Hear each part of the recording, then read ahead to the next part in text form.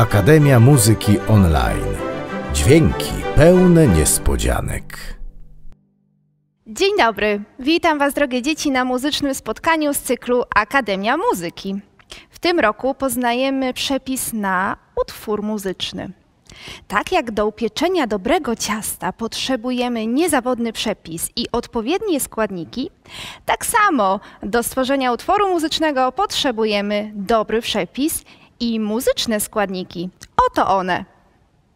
Wiemy, że muzyka składa się z wielu różnych dźwięków. Mogą one być wysokie lub niskie, krótkie lub długie, wolne lub szybkie, ciche lub głośne, pojedyncze lub współbrzmiące. Mogą być zaśpiewane lub zagrane na różnych instrumentach na wiele sposobów. Jesteście ciekawi, jak powstaje z nich utwór muzyczny? Jego tworzenie można porównać do robienia ciasta. Cały sekret tkwi w doborze odpowiednich składników i ich odpowiednim połączeniu. Sprawdźmy więc, co znajdziemy w przepisie na utwór muzyczny. Z połączenia dźwięków różnej wysokości powstaje melodia utworu. Następujące po sobie dźwięki różnej długości tworzą jego rytm. Utwór muzyczny można wykonać też z różną szybkością, wolniej lub szybciej. Decyduje o tym tempo utworu. Brzmienia poszczególnych instrumentów dzięki swojej niepowtarzalnej barwie wprowadzają do utworu kolejny element, jakim jest kolorystyka.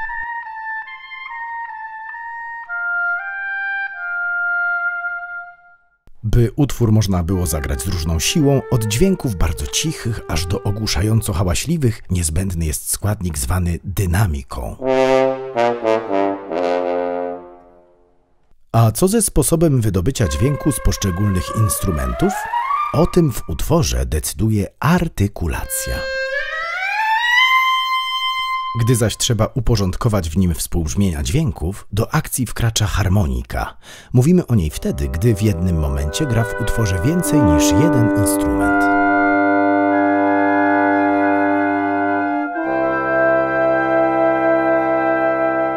Wszystkie składniki naszego przepisu dobrać należy w odpowiednich proporcjach, umiejętnie ze sobą połączyć, doprawić szczyptą wrażliwości i utwór muzyczny gotowy. Wiemy już, co to jest i jak jest zbudowana melodia. To, co słyszymy albo śpiewamy, to jest właśnie melodia. Poznaliśmy już rytm. Są nutki długie i krótkie.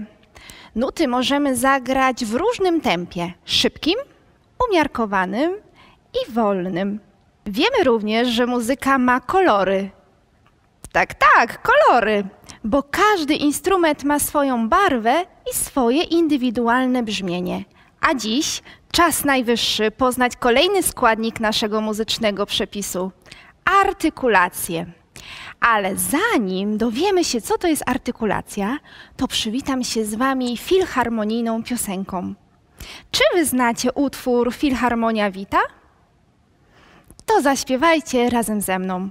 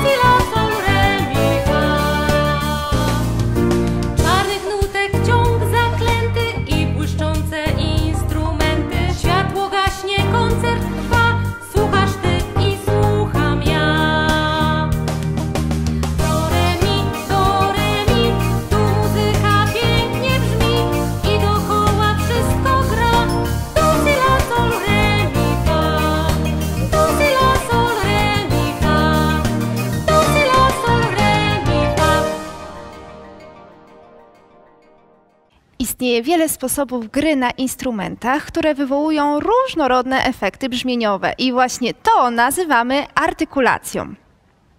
Jak myślicie, czy z każdego instrumentu wydobywa się w ten sam sposób dźwięk? Odpowiedź znajdziemy u naszych muzyków, którzy grają na skrzypcach, na klarnecie, na kontrabasie i na altówce. Na instrumentach smyczkowych gramy smyczkiem. Spójrzcie. To jest włosie końskie, które jest bardzo mocno naprężone. I kiedy muzyk pociera włosiem o strunę, pobudza ją do drgań i powstaje dźwięk. Klarnet to instrument denty drewniany. Tu źródłem dźwięku jest powietrze wydychane przez muzyka. Bardzo ważnym elementem instrumentu jest drewniany stroik. Posłuchajmy, jak te instrumenty brzmią razem.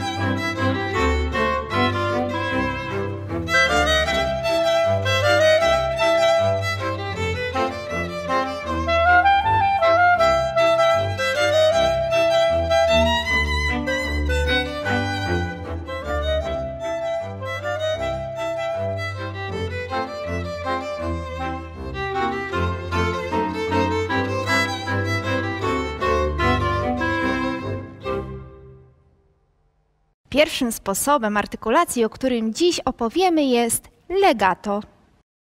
Legato to płynny sposób gry na instrumencie, bez najmniejszych przerw między dźwiękami. Nuty na pięciolinii połączone są łukiem. Żeby lepiej Wam, drogie dzieciaki, zobrazować, o co chodzi w tej artykulacji, to wstańcie. Zawołajcie swoich rodziców, brata albo siostrę i złapcie się za ręce. Zamknijcie oczy i wyobraźcie sobie, że przez wasze dłonie przepływają dźwięki. Przypilnujcie, żeby żaden dźwięk się nie odłączył.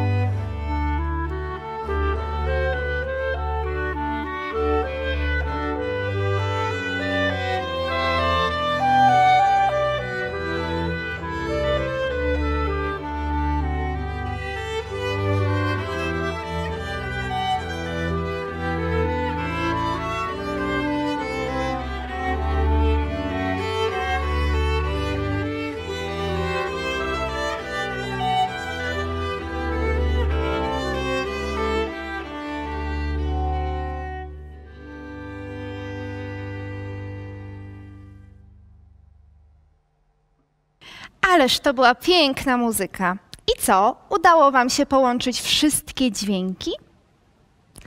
Zupełnym przeciwieństwem legata jest staccato. Staccato to artykulacja polegająca na wyraźnym oddzielaniu następujących po sobie nut. Pod nutkami zapisujemy kropki i muzyk wtedy wie, że musi zagrać krótkie nutki. Te artykulacje możemy z łatwością skojarzyć z żołnierzem.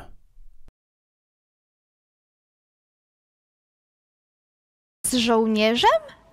A czy wy widzieliście kiedyś żołnierza? A widzieliście, jak ten żołnierz maszeruje? Raz, dwa, trzy, cztery. Raz, dwa, trzy, cztery.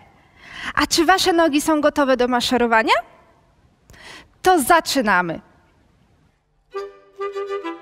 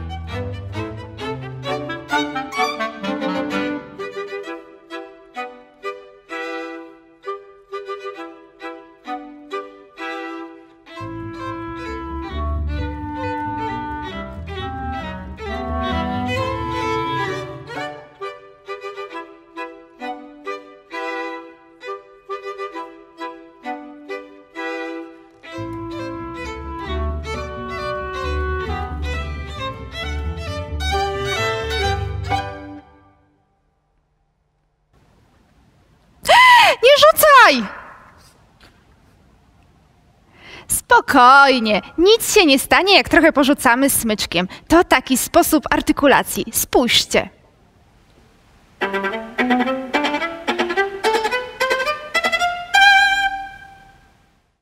Czy ten smyczek nie odbija się czasem jak piłeczka? Kiedy rzucimy piłką o podłogę, ona jeszcze kilka razy odbije się od ziemi. Podobnie jest ze smyczkiem. Rzucony smyczek również odbija się od struny. Taki sposób gry nazywamy rikoszetem. Przygotowałam dla Was muzyczną zagadkę. Posłuchajcie uważnie utworu i zastanówcie się, z jakim zwierzątkiem Wam się kojarzy. Będzie również podpowiedź na ekranie.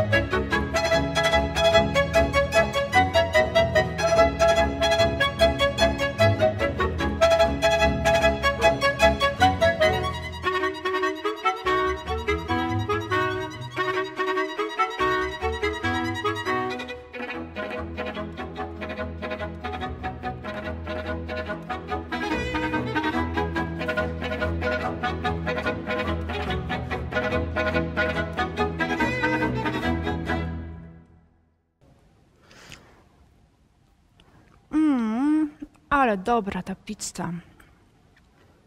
O, już jesteście. Kolejnym sposobem artykulacji jest pizzicato. Posłuchajcie o nim, a ja szybko dokończę ten kawałek. Jedz, jedz, smacznego. Pizzicato to sposób gry na instrumentach smyczkowych polegający na szarpaniu palcem struny. W nutach te artykulacje oznaczamy skrótem, używając czterech pierwszych liter słowa. Nazwę pizzicato możemy łatwo skojarzyć ze smaczną, okrągłą pizzą. Posłuchajcie, jak to brzmi.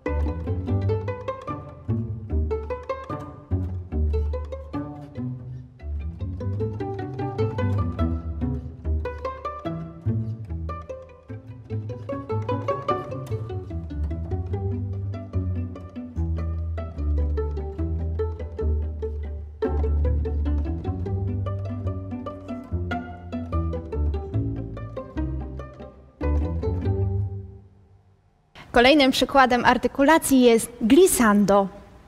Glissando to płynne przejście od jednego dźwięku do drugiego w taki sposób, by po drodze zahaczyć o wszystkie możliwe dźwięki znajdujące się między nimi.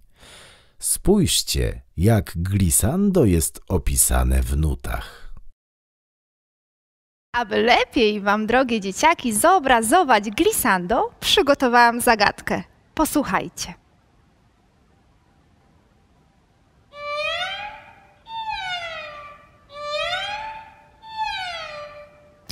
Siedząc na tym urządzeniu, w dół i w górę się ruszamy. Gdy jesteśmy na podwórku, to z niej chętnie korzystamy. Wiecie o czym mowa? Poprawna odpowiedź to huśtawka. Posłuchajcie teraz najsłynniejszego glisanda w całej literaturze muzycznej w wykonaniu naszego klarnecisty. Bądźcie uważni, bo glisando jest już na samym początku.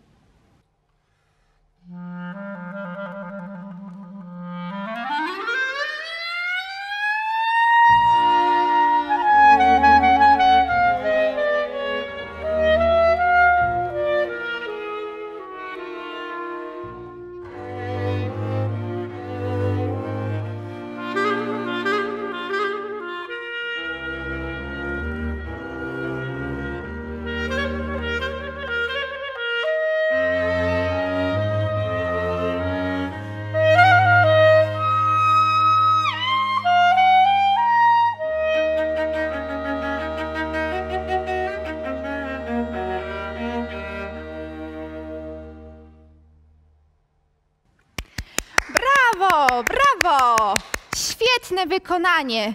Hej, a nasze ręce też wydają dźwięk. To znakomicie, bo są nam potrzebne do ostatniego już utworu. Klaszcie razem ze mną.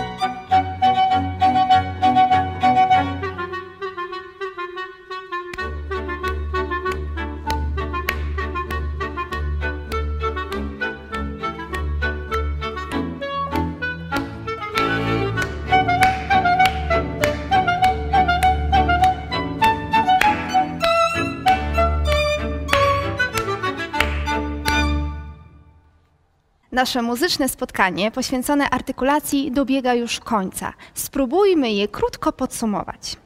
Dowiedzieliśmy się, w jaki sposób wydobywa się dźwięki z instrumentów i jak uzyskać różne efekty brzmieniowe. Wiemy również, że wszystkie wskazówki dotyczące artykulacji znajdują się w zapisie nutowym.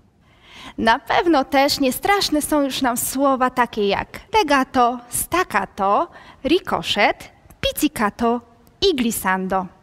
Mam nadzieję, że świetnie się razem z nami bawiliście. Bardzo dziękuję Wam za dzisiejsze spotkanie i zapraszam na kolejne audycje muzyczne online. Do zobaczenia!